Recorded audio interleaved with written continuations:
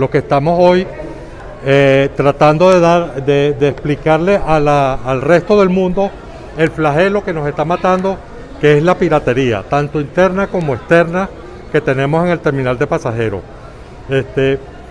cuando, cuando digo que es la base del transporte, este,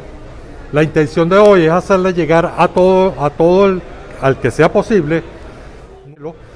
que nos está afectando tanto a nosotros como transportistas como al resto del usuario,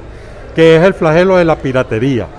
De verdad que ya esto ha llegado a un extremo que está inaguantable. Esto, lo que hay aquí afuera, tanto afuera como adentro del terminal, lo que, lo que hay es una anarquía.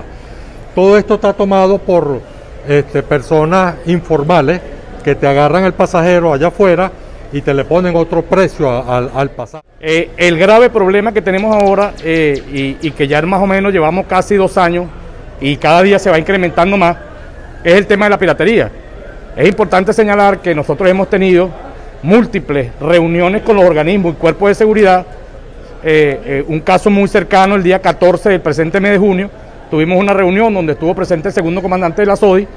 el director de la Policía Nacional del Estado Lara, y otras autoridades presentes, donde se comprometieron en asistir al terminal de pasajeros y tratar de verificar y solucionar el problema, el grave problema que tenemos nosotros dentro y fuera del terminal. Es importante que se sepa que el comandante de la SODI, al día siguiente, posterior a esa reunión, se presentó en el terminal, pudo constatar de toda la problemática que tenemos nosotros interna y externa con todos los piratas que tenemos, que ya de la parte eh, externa del terminal tenemos presencia de ellos dentro del terminal de pasajeros. Entonces ya nosotros no podemos operar, no podemos mantener un pasaje estable cuando estos compañeros que se han dedicado a la piratería, al, transporte informal,